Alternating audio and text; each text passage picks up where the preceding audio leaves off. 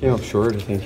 Uh, you know, the, that period or that goal there, the end of the uh, period that they went up 2-1 was a, a tough one. Uh, and I thought we did a good job responding after that, starting the third, and uh, you know they scored, and then we scored again, and um, just came up short. I think uh, you know we got outworked by their uh, their player, their forwards outworked us. So they were they were working, they're back checking, stripping us, and um, you know they just just outworked us. I got to think you like the De La Rose line. They had a lot of energy all over the ice tonight.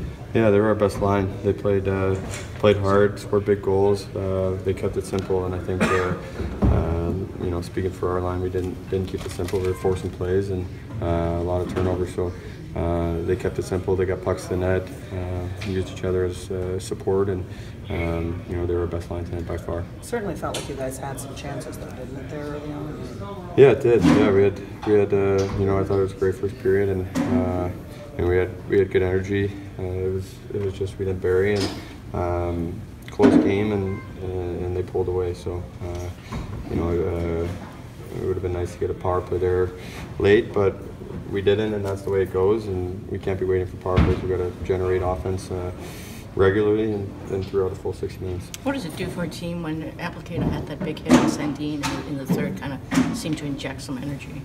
Yeah, it did. Uh, you know, I think all of our physical players played great tonight. They, they played physical, made it hard on you know their top players. So uh, you know it, it, was a clean hit. It was a great hit, and uh, you know there's a couple other big ones. So we need more of that, and we need it from everyone. Thank you. Thank you.